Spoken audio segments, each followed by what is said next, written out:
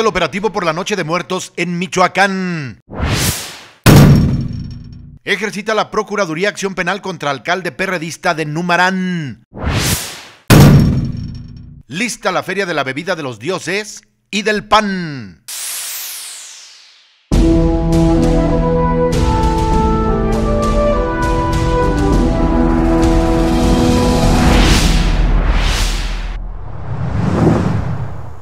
Tal? ¿Cómo le va? Con el gusto de siempre le saludamos a través de Urbis Noticias en este viernes 24 de octubre del año 2014. Hoy como todos los días tenemos información importante que compartir con usted.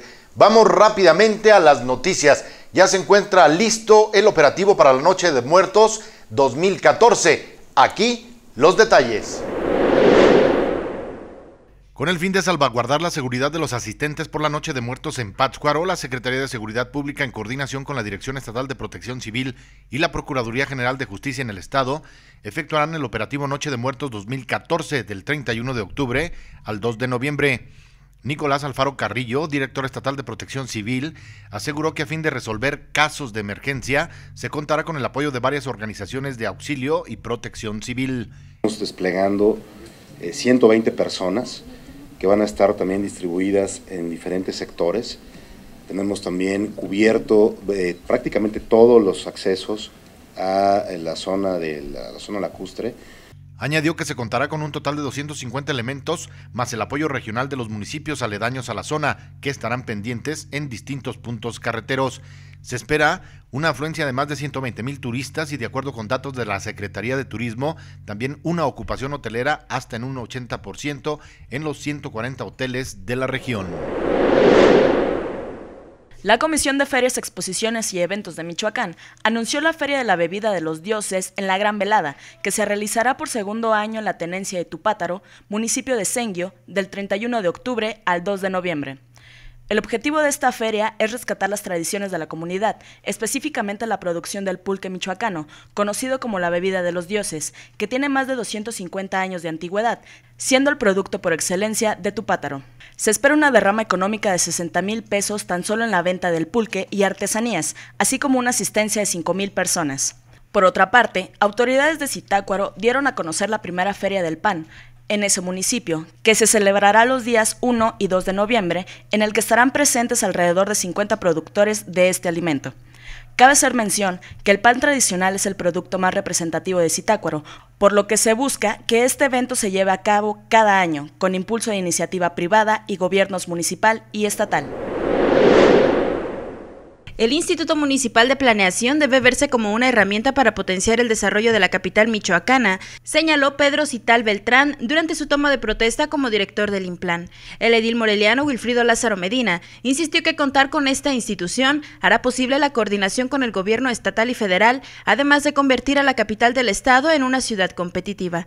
Resaltó que con el Implan se pondrá fin a la improvisación gubernamental, a los caprichos y ocurrencias, así como a los intereses particulares.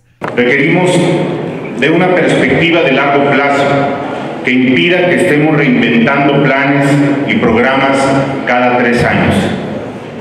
Debemos colocarnos más allá de periodos constitucionales y de colores partidistas, pues necesitamos un plan rígido en lo fundamental y flexible en su aplicación, independientemente de quién gobierne, pero con su fundamental ayuda para concretarlo. Por su parte, Jaime Mares Camarena, vocal ejecutivo del Centro de Desarrollo Municipal, quien acudió en representación del gobernador del estado, señaló que este organismo descentralizado de reciente creación apoyará el fortalecimiento de las dependencias municipales. El crecimiento urbano de nuestras ciudades michoacanas demanda urgentemente la creación de nuevas instituciones públicas con una visión de largo plazo y de mayor participación ciudadana en este momento no existe posibilidad para adelantar pagos de obra convenida 2013 a los ayuntamientos, tal y como lo exigen, dada la situación financiera por la que atraviesa el Estado, anunció el vocal ejecutivo del Centro de Desarrollo Municipal, Jaime Mares Camarena. En entrevista con Urbis, dijo que no hay recursos de sobra en las arcas estatales para cumplir las peticiones. Todavía no hay peticiones concretas, se ha manifestado solamente la solicitud de manera general todavía no llegan a la dirección de crédito solicitudes de municipios que, pudieran, eh, que pudiéramos eh, conocer eh, y tener una idea de cuánto pudiera ser esa necesidad.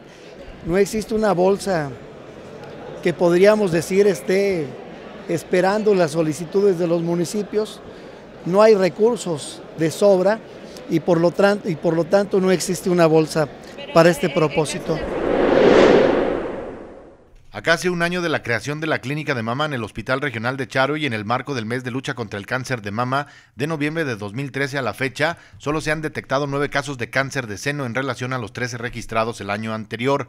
Sara Marlene Fuentes Valle, encargada de la clínica de mama en el Hospital Regional 1 de Charo, dijo que estos casos fueron detectados en etapa temprana y que los resultados de cáncer ya fueron enviados a tratamiento.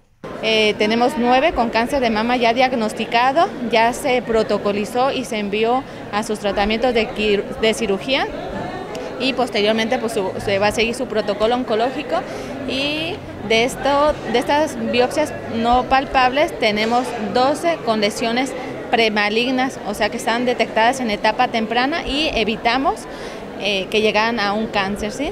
Explicó que el 32% de las causas de cáncer tienen que ver con una alimentación excesiva en grasas, usar anticonceptivos hormonales, así como tener embarazos después de los 35 años.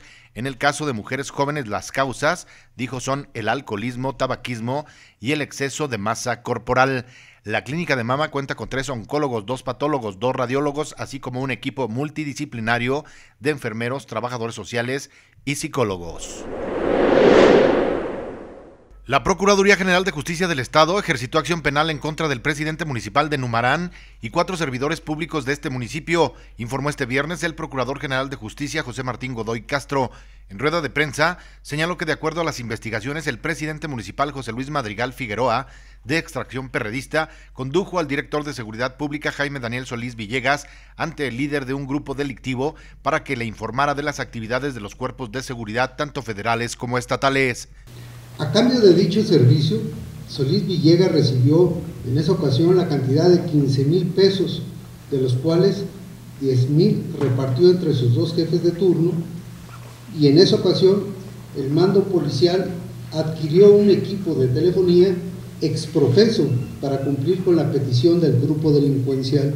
Por otra parte, la Procuraduría ha consignado ante un órgano jurisdiccional a 10 elementos de la Policía Municipal de Zacapu por su probable responsabilidad en el delito contra el sistema de seguridad pública, luego de que estos eran informantes de un grupo delictivo.